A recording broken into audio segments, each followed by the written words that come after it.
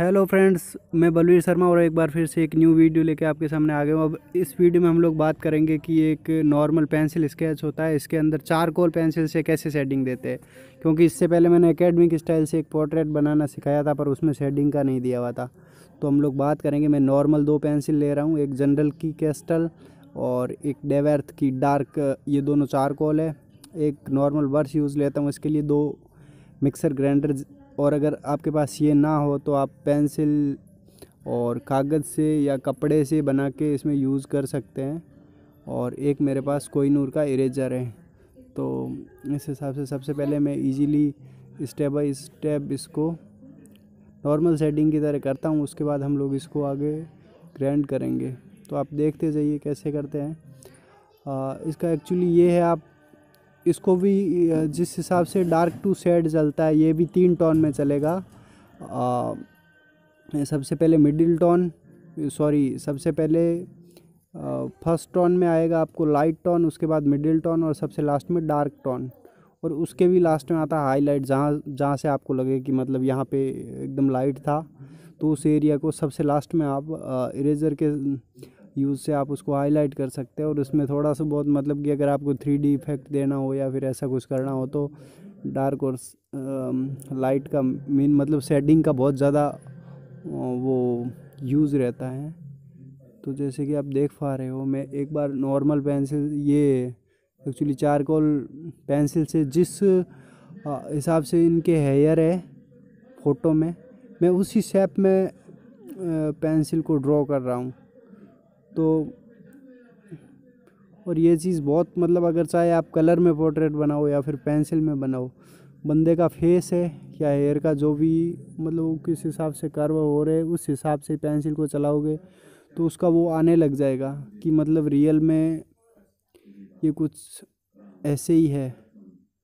तो मैं स्टार्टिंग में थोड़े टाइम इसको स्लो ही रखता हूँ, उसके बाद ये यहाँ पे आपको समझ में आ जाएगा कि शेडिंग कैसे दे पाते उसके बाद सब में ये सेम रूल फॉलो कर रखा है मैंने। मैं फ़र्स्ट इसको पेंसिल से शेडिंग दूँगा। ये सॉरी चारकोल से चारकोल पेंसिल से। और उसके बाद में इसको एक बार बर्स और ग्राइंडर से मिक्स करेंगे। तो ये हो जाएगा इसका लाइट टोन उसके बाद दोबारा से आ, वापस इसमें शेडिंग दूँगा और फिर से इसको मिक्स करेंगे। ये मिडिल टोन और सबसे लास्ट में जो भी मुझे लगेगा कि मतलब यहाँ पे इसमें हाईलाइट की ज़रूरत है, मैं सबसे लास्ट में उसको हाईलाइट कर दूँगा। उस वीडियो में थोड़ा सा टाइम लैप्स रखना चाहूँगा इसी वीडियो में आगे का जो पोर्सन है, क्योंकि ये नहीं तो बहुत लंबा हो जाएगा। एक्चुअली एक पोर्ट्रेट बनाने में अगर नॉर्मल हम लोग पैसन से बनाए तो तकरीबन एक घंटा तो लग ही जाएगा। और वो भी आपके एक्सपीरियंस पे डिपेंड करता है कि एक घंटा लगेगा, उससे भी ज़्यादा लग सकता है। बिकॉज़ ये सब इसमें सिंपल सी बात है, आप जितना प्रैक्टिस करोगे, उतना परफेक्ट होगे। और बाकी इसका, यूँ देखें तो कोई शॉर्टकट नहीं है। बाकी आप जो भी टेक्निकल चीज़ें या एकेडमिक जो इसके पोर्ट्रेट बनाने के रूल है, उनको फॉलो करिए। तो इससे क्या हो गया, और जल्दी आपका एकदम परफेक्ट बनना स्टार्ट हो जाएगा। तो देखिए मैंने इसको तकरीबन तकरीबन जिस शेप में था, उस शेप में हेयर को ड्रॉ तो कर दिया है। और एक मैं इसमें पेंसिल का बताना चाहूँगा कि अगर आप, आपके पास नॉर्मल पेंसिल आप यूज़ लेना चाहते हो तो उसमें आप कैमलिन की ले सकते हो। इसके लिए अलग से आती है कैमलिन की। तो उसके बाद में अगर आप चारकोल यूज़ करना चाह रहे हो तो इसमें भी कैमल की तीन, एक चारकोल का एक्चुअली पैकेट आता है जिसके अंदर मीडियम हार्ड और सॉफ्ट तीन क्वालिटी आती है। ये लगभग पचास रुपये का आपको मिल जाएगा तकरीबन। और अगर आप उसके बाद जो और महँगी चारकोल ख़रीदना चाहते हो तो स्टेडलर की डबल ई आएगी। लूमोग्राफ स्टेडलर मास डबल ई मतलब मोटे साइज़ की होती है। आ, वो भी अच्छी क्वालिटी की है। उसके बाद जो मैं अभी डेवर्थ की यूज़ ले रहा हूँ तो ये भी ब्लैक डेवर्थ की मेड इन इंग्लैंड है। एक्चुअली फिर भी ये आपको मिल जाएगी ऑनलाइन भी मिल जाएगी और उसके अलावा जो भी आ, आपके शहर में या आपके आसपास जो भी आर्ट मटेरियल का शॉप है वहाँ पे मिल जाएगी। और एक दूसरी है जनरल का चारकोल उसकी भी बहुत अच्छी क्वालिटी मतलब सबसे बेस्ट है। एक्चुअली इसको क्या है कि जब मैं जो डेवर्थ यूज़ कर रहा हूँ, इस पेंसिल में जब इसको हम लोग वापस से ग्रैंड करते हैं तो ये मतलब एकदम लाइट हो जाता है। कुछ रहता नहीं है, वापस से सारा कुछ हट जाता है। तो उसमें मज़ा नहीं आता जितना उसमें जनरल के चारकोल में आता है मतलब एकदम कंप्लीट जो भी है। तो इस हिसाब से मैं एक बार बीच में ये जगह इसलिए छोड़ रहा हूँ कि यहाँ पे जब मैं इसको ग्रैंड करूँगा, मिक्स करूँगा तो थोड़ा बहुत साइड में डार्क आएगा। इस हिसाब से, इस चीज़ को मैंने पहले से मतलब सोच रखा है कि ये होएगा डार्क, इसलिए मैं इसको एक बार लाइट छोड़ रहा हूँ। और इसके बाद जब हम लोग इसको, अब हम मिक्स करते हैं, मैं स्टार्टिंग में बर्स लेऊँगा और बर्स के हिसाब से मैं इसको रब कर रहा हूँ। और देखिए आप मतलब जो भी इसका, ये धीमे धीमे सॉफ्ट हो रहा है, जो भी हार्ड इतनी देर जो स्ट्रोक दिख रहे थे, वो आपस में मिक्सअप हो गए और इससे क्या है कि हालाँकि ये एक कॉमर्शियल स्टाइल का पोर्ट्रेट है। एक्चुअली जब हम लोग एकेडमिक में करते हैं एकेडमिक रूल फॉलो करते हैं तो ये सब अलाउ नहीं होता। मतलब मिक्सिंग सही बताऊँ तो एकेडमिक में बोलते कि ये बहुत चीप स्टाइल है। मिक्सिंग करना, ये सब। उसके अंदर आप तो या तो हैचिंग यूज़ लीजिए या फिर क्रॉस हैचिंग लीजिए या फिर इस हिसाब से ज़्यादातर जो भी बड़े आर्टिस्ट है वो पोर्ट्रेट स्केचिंग में यही लेते हैं, हैचिंग या क्रॉस हैचिंग यूज़।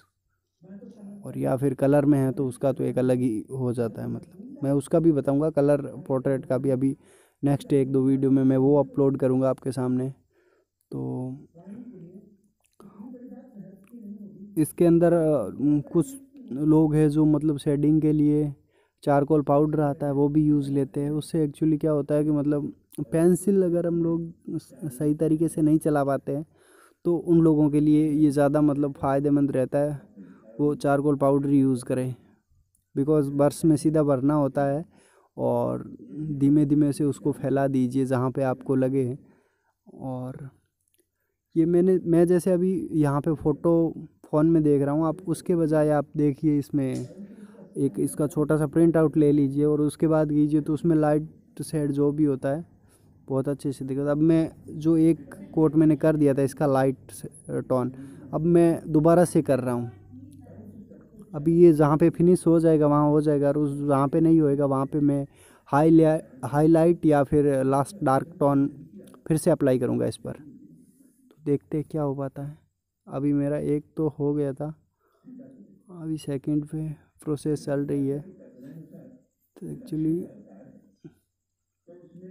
इन सब में अभी फिर से अच्छा लगने लग जाएगा ये। ऐसा लग रहा है, पर अपने को मिक्स तो करना ही पड़ेगा लास्ट तक। एक्चुअली रियल तो ये होता है मतलब मिक्सिंग से अच्छा जो प्योर चारकोल होती है, उसमें लगता है। और ये जो जनरल का चारकोल पेंसिल है ये तो रियली इसकी काफ़ी अच्छी क्वालिटी है। तो ये तो लगेगा ही अच्छा। तो ऐसे करके देखते हैं इसमें ये क्या क्वालिटी देगा था अपने को। एक्चुअली काफ़ी अच्छा है। तो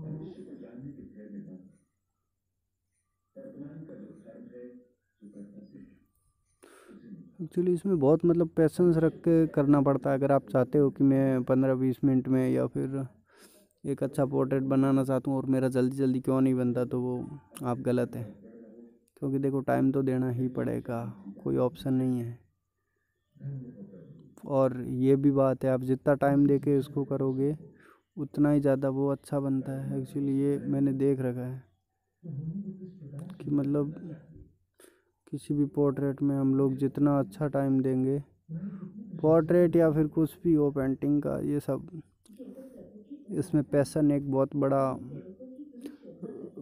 अपना रोल मैटर करता है कि मतलब बंदा कितने पैसन के साथ काम कर रहा है, कैसे कर रहा है।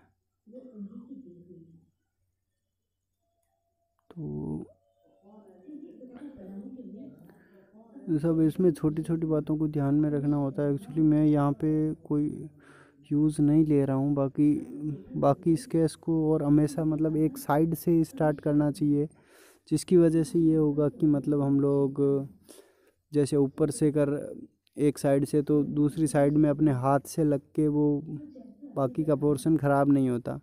मैंने एक्चुअली जब ड्रॉ किया था तो उसके अंदर मैंने नॉर्मल ग्रेफाइट पेंसिल यूज़ की है। बिकॉज़ ग्रेफाइट है, वो चारकोल की बजाय बहुत कम फैलता है। चारकोल तो आपका अगर हार्ड टच भी हो जाता तो दोबारा फैल ही जाता। और फिर इस चारकोल को फिक्स करने के लिए हम लोग अलग अलग कंपनी का फिक्सर आता है चारकोल फिक्सर तो हम लोग वो यूज़ कर सकते हैं, या फिर हेयर जेल आता है हेयर जेल का स्प्रे हम लोग वो भी यूज़ कर सकते हैं। और एक एक्चुअली शायद तक फॉर्निस का कुछ आता है। उसका मुझे कंफर्म नहीं पता तो वो भी लोग यूज़ करते हैं। तो और फिक्स करने के बाद क्वालिटी थोड़ी और ज़्यादा इम्प्रूव होती है। मतलब दिखने में और और ज़्यादा अट्रैक्टिव हो जाता है स्केच तो वो भी एक अच्छा है। और अभी मैं फिर से इसको कर रहा हूँ एक बार हेयर हेयर करके। Actually it's very long thought process but अगर करना है तो इसी प्रोसेस को फॉलो करना होगा। और एक्चुअली मेरा वीडियो इसमें लंबा भी बन जाता है तो मैं इस वजह से इसमें ब्लॉगिंग नहीं कर पाया पहले से। अभी मैं एक बार ग्राइंडर से मिक्स करूँगा। क्योंकि पहले मैंने बस से मिक्स करके तो दिखा दिया था तो हम लोग इस बार करते हैं ग्राइंडर से मिक्स तो वही सेम है एक्चुअली ग्राइंडर में थोड़ा क्या कि ध्यान रखना होता है। ये जहाँ से मतलब हो गया है, वहाँ से अगर वापस कहीं टच होएगा तो वहाँ ख़राब कर देगा। और ये भी है कि आपको ग्राइंडर को हर बार अच्छी तरीके से साफ़ कर लेना चाहिए। अगर ऐसा नहीं करते हो तो भी वो एक्चुअली आप जहाँ पे मिटाने की कोशिश कर रहे हो, वहाँ पे वो मिटेगा कम और उससे ज़्यादा डार्क भी हो सकता है। तो ऐसे में ये कुछ छोटी छोटी चीज़ें हैं जिसको आपको नॉलेज में रखना होगा।